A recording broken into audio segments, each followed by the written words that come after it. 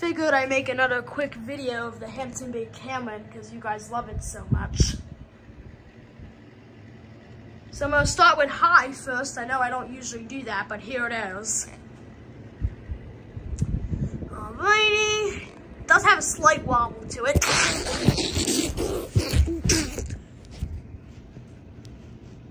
Uh,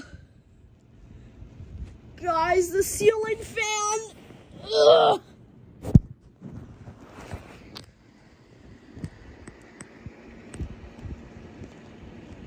April Fools.